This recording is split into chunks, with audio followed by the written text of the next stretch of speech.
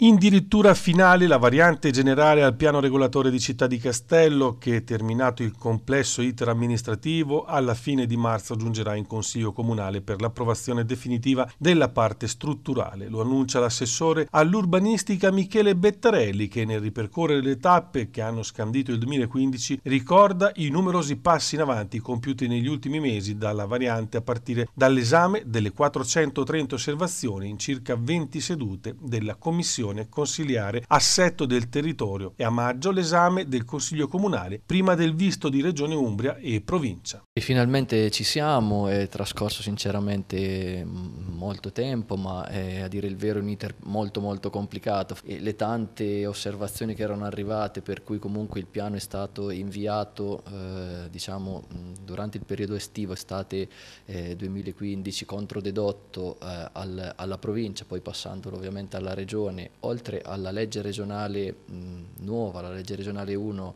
che norma appunto eh, in maniera completamente nuova il paesaggio del gennaio 2015, sinceramente ecco un po' hanno provocato un, un, prolungarsi dei tempi, però come dicevo finalmente ci siamo, partiamo da una determina della regione che è datata proprio eh, fine dicembre, quindi ecco il tempo tecnico per gli uffici, per i nostri consulenti di sistemare il piano e poi eh, avvieremo questo iter che ripeto si concluderà comunque entro la fine di marzo. Nell'economia della variante, la parte strutturale che licenzieremo, ha detto ancora Bettarelli, è fondamentale perché tiene insieme i grandi complessi urbanistici con le aree agricole, con l'edilizia residenziale, pubblica e con spazi di comunità.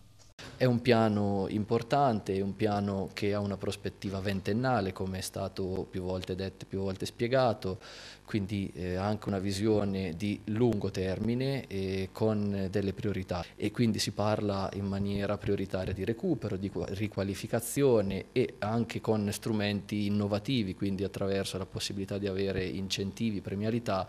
eh, favorendo interventi appunto di recupero e di riqualificazione e ovviamente deve essere anche un piano che guarda come dicevo in prospettiva. Quindi non si può nascondere il fatto che sono previste delle nuove zone edificabili appunto definite zauni zone agricole utilizzabili per nuovi insediamenti. Quindi è una prospettiva, è una possibilità, non è un obbligo. E quindi comunque mm, pensando di qui ai prossimi vent'anni è evidente che una prospettiva di ampliamento va comunque prevista perché eh, ci sono e ci potrebbero a maggior ragione nel futuro essere queste, queste esigenze